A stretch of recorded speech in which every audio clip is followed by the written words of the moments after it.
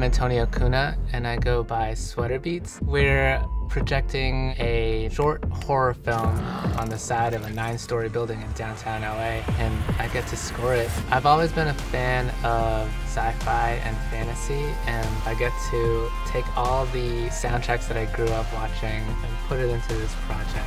I use Intel Optane memory to access all those sounds like that. I've always wanted to score a film, so it's gonna be epic.